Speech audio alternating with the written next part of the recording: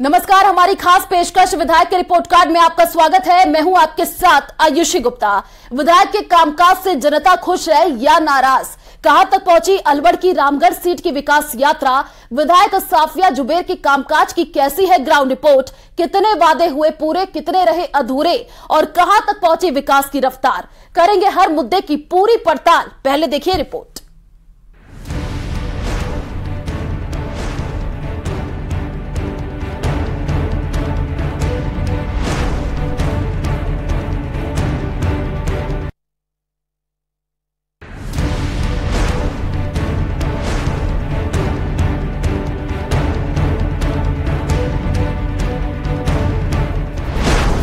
Ramgarh Vidhan Sabha seat Alwar ज़िले में आती है। ये विधानसभा सीट जाति और धर्म के आधार पर चुनाव लड़ने के लिए जानी जाती है।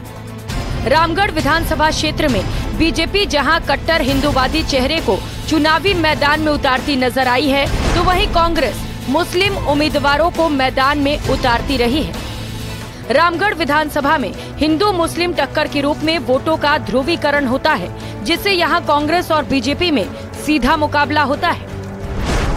अब तक हुए पंद्रह विधानसभा चुनाव में इस सीट पर छह बार त्रिकोणीय मुकाबला हुआ है। वर्तमान में सीट से कांग्रेस की साफिया जुबेर खान विधायक है।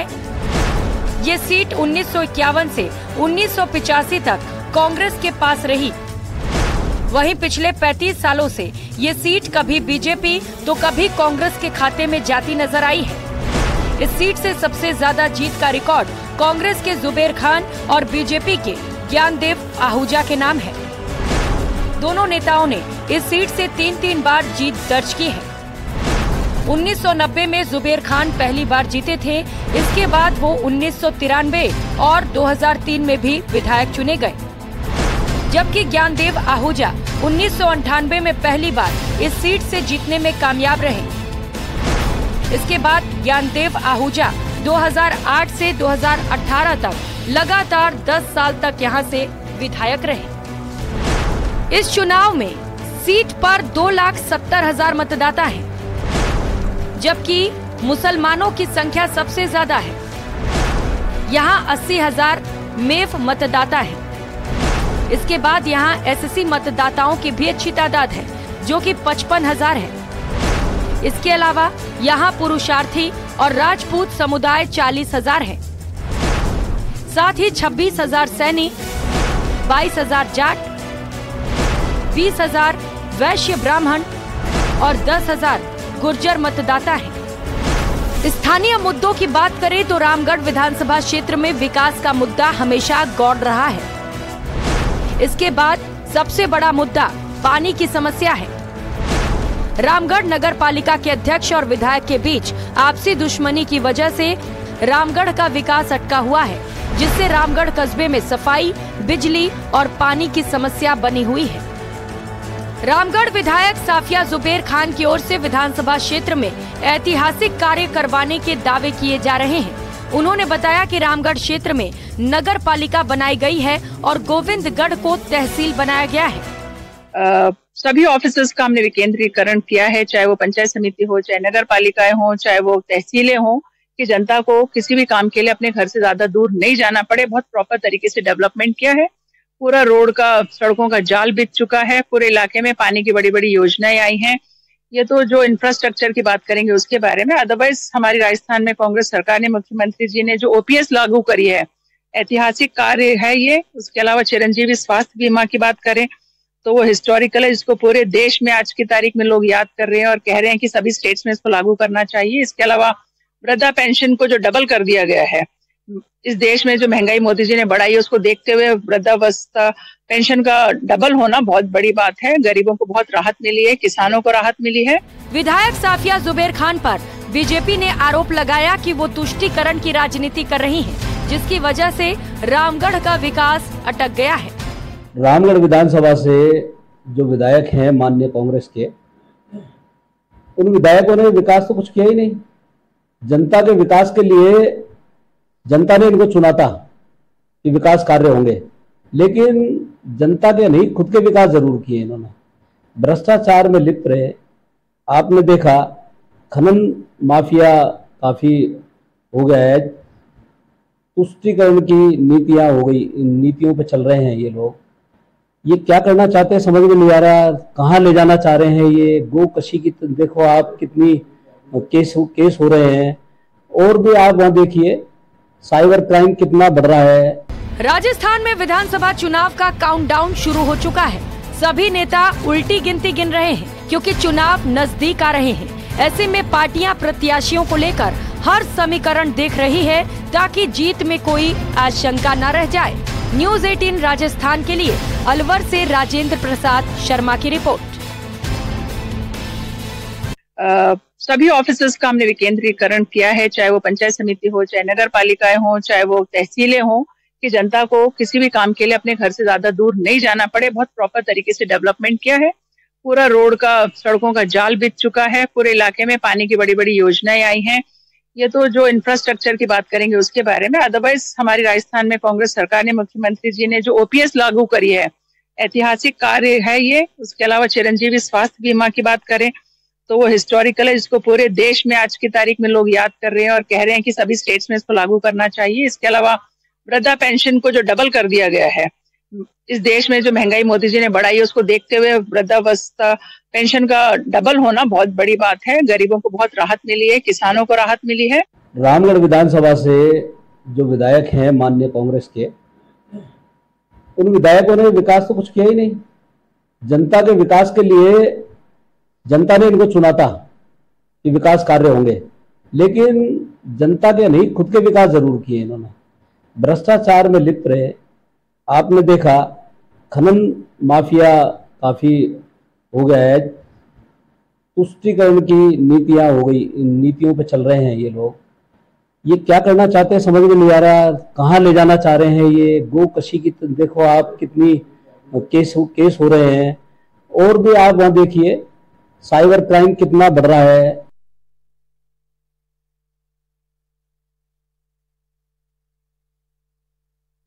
हाँ, फ़िलहाल हम मौजूद हैं रामगढ़ विधानसभा क्षेत्र में। यहाँ जनता के जो लोग हैं वो मौजूद हैं इनसे बात करते हैं कि विधायक का जो पाँच साल का कार्यकाल है वो किस तरीके से रहा है। विकास के जो दावे किए गए थे क्या वो पूरे हो पाए हैं या नहीं हो पाए हैं? जी आप बताएँ किस तरीके के जो विकास के जो दावे किए गए थे वो पूरे हो पाए हैं या नहीं हो पाए रामगढ़ अभी तक हमारी जो विधायिका है साफिया जुबेर जी उन्होंने काफ़ी हद तक कोशिश करी है विकास करने की। लेकिन पूरे वादे जो किए थे वो पूर्ण नहीं हो पाए हैं। लेकिन अभी जो नई सरगर्मी चल रही है हम अपने क्षेत्रीय विधायक के बारे में चुनना पसंद करेंगे कि हमारा जो क्षेत्रीय को टिकट अगर कोई देती है कोई भी पार्टी हम उसके साथ जाना पसंद करते हैं। क्या चुनावी मुद्दे रहेंगे रामगढ़ में? चुनावी मुद्दे में मेन चीज़ है विकास। विकास की तरफ़ अगर हम अपना योगदान ज़्यादा देंगे हमारा जो वोटर है वो विकास की तरफ़ ही जाना पसंद करेगा। जी। आप बताएँ, किस तरीके का जो यहाँ आपस में जो हिंदू मुसलमान वाली जो बातें होती रहती हैं, क्या उससे ऊपर उठ करके जनता वोट कर पाएगी या वही मुद्दे जो घिसे पिटे हर साल जो आते हैं, चुनाव आते हैं, तब वो हिंदू मुसलमान वाला जिन जो है वो बाहर आ जाता है और बाकी फिर वो विकास के दावे चलते हैं? देखो, विकास के इस अगर चुनाव को देखा जाए ना, जिस तरीके से साफिया ने जो रामगढ़ में काम किया है जो आने वाले जो पहले विधायक जीते थे, उन हिसाब से तो बहुत ज़्यादा काम किया है। लेकिन उनके जो काम करने का नतीजा है, जो अपने तरीके से उन्होंने अच्छा काम किया है, लेकिन अगर भाजपा साफिया या जुबेर के टक्कर में भाजपा कैंडिडेट देखते हैं तो लोकल क्षेत्रीय उम्मीदवार ऐसा होना चाहिए कि जो हर समाज में पकड़ रखता हो। राजस्थान की जो टीम है, वो यहाँ लोगों से बात कर रही है। जी, आप बताएँ कि जो विकास के लिए बातें बहुत होती हैं, लेकिन हकीकत में जो जनता को है, रामगढ़ में सफ़ाई का जो मुद्दा है, पानी का मुद्दा है, वो गौण है? सर हमारे जो यहाँ पर रामगढ़ नगर पालिका बन गई है। रामगढ़ नगर पालिका बनने के बाद भी हमारे गाँव में से कचरा नहीं उठता मोहल्ले में से कचरा नहीं उठता।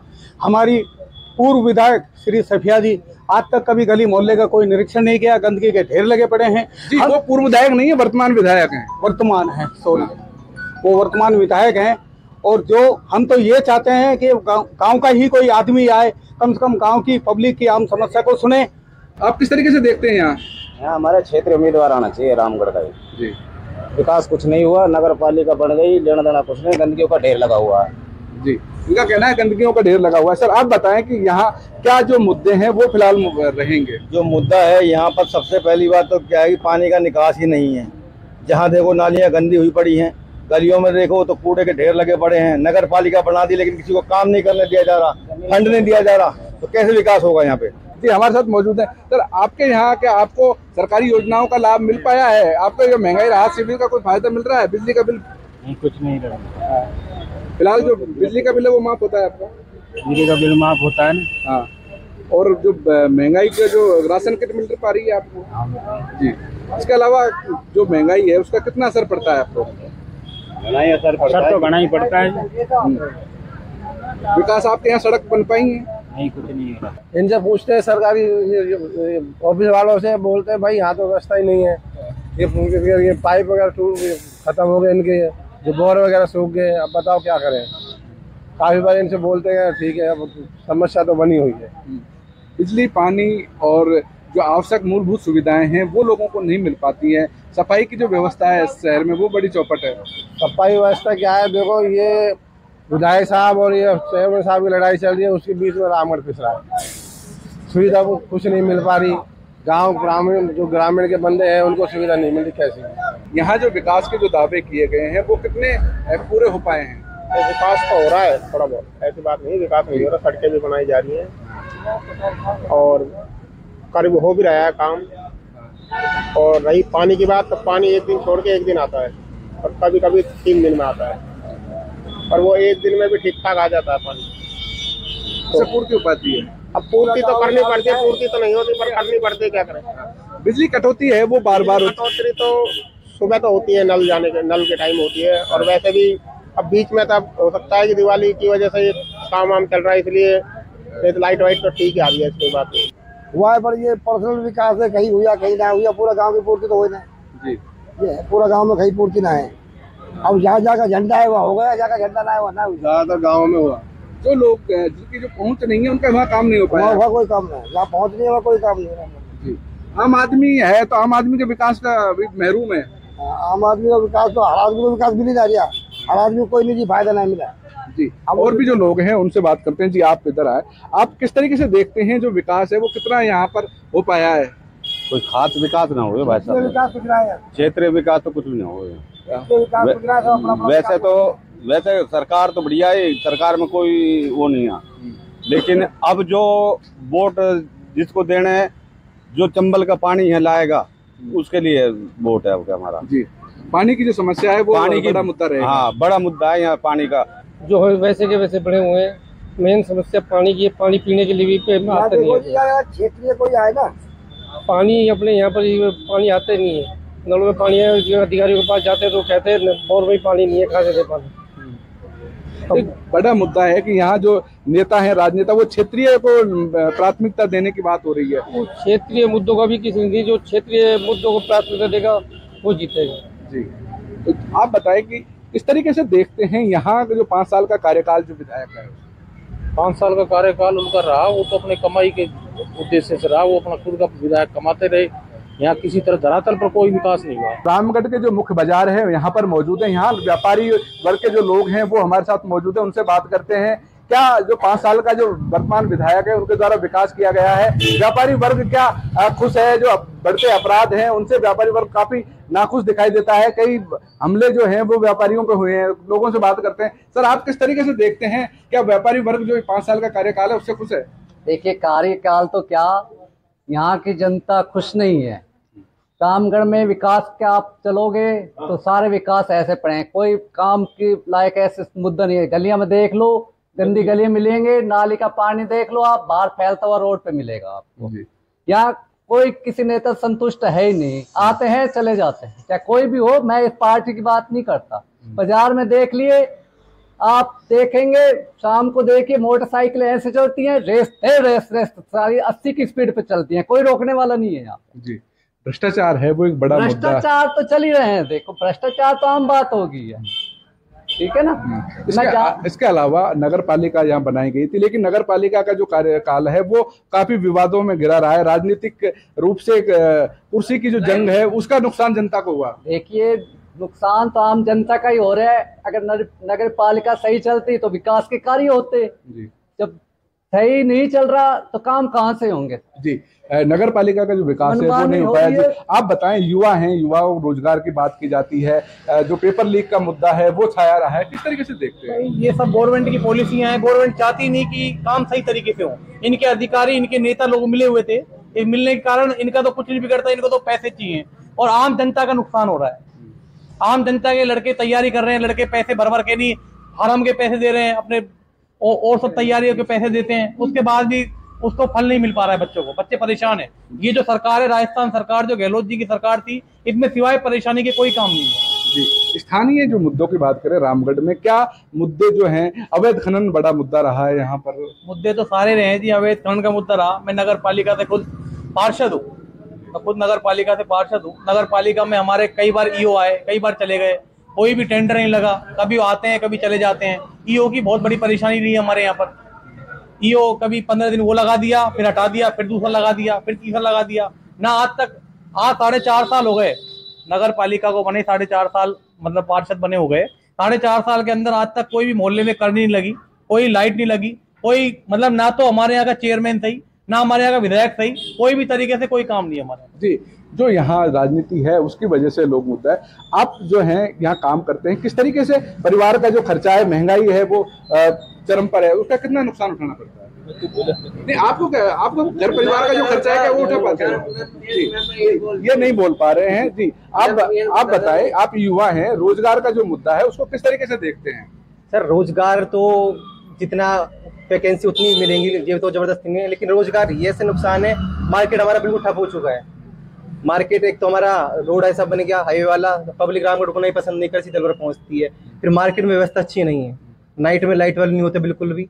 नगर पालिका रामगढ़, लेकिन आप रात को मार्केट में आके देखना, बस स्टैंड से लेके भैरू जी के मंदिर तक बिल्कुल अंधेरा रहता है।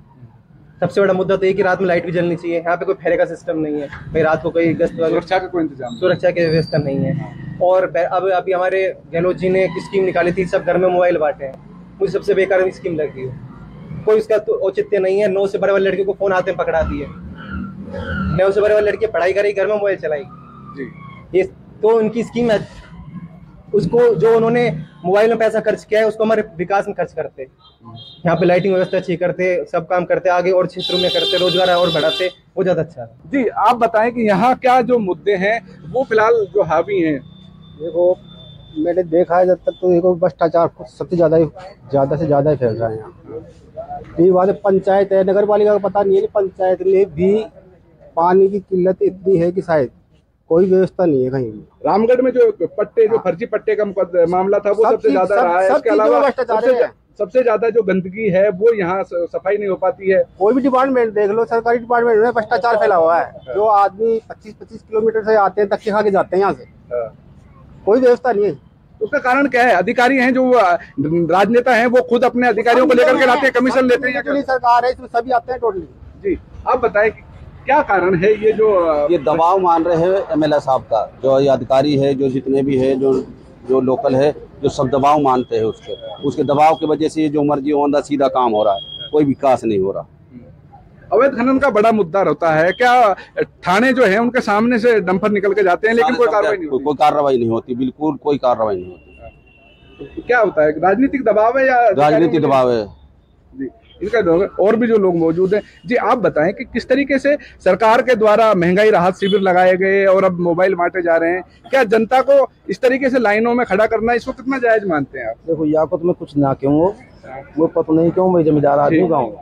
मजदूर किसान हूँ। आप किसान हो तो आप किसान का आपसे पूछते हैं एक, एक किसान हैं आप। राहुल गांधी ने मालाखेड़ा में घोषणा की थी अगर मैं दस गिनूँगा और किसानों का ऋण माफ़ हो जाएगा क्या किसानों का ऋण माफ़ हो पाया है? ना किसी का भी नहीं हुआ कोई किसान का हुआ ना माफ़ हुआ बाकी मैं ये कहूँगा जो अपने साफिया है एमएलए साहब इ- इनने इतना दबाव दे रखो यहाँ कोई भी अफसर सही काम करके राज़ी ना है करेगो तो उसकी बहुत जल्दी बल्दी हो जाएगी। और यहाँ मतलब कुछ दिन पहले आई सात करोड़ रुपया मतलब पढ़ाए दिया वालो नगर पालिका के लिए विकास के लिए दोहली गाँव में सात रुपया ना दिया। आज तक दोहली में कोई एक रुपये भी लगो बताए तो मैं उसको मैं साथ दूँ। तो विकास जो है वो क्यों नहीं हो पा रहा है? इसके कोई कारण होता है कि क्या विकास को जो एक क्षेत्र विशेष के लोगों को फ़ायदा पहुँचाया जा रहा है या समाज विशेष के लोगों को पहुँचाया जा रहा है? क्या कारण है? ये समाज विशेष नहीं जैसे मतलब इनने तो ठेक कर रखा है कि थाना में तुम्हें पाँच लाख रुपए देना है भाई एक महीना में तो थाना वाला तो चाहे कुछ भी करके देंगे वो तो देंगे। तहसीलदार को तो तय कर रखिए कितना रुपए देना है तो देंगे।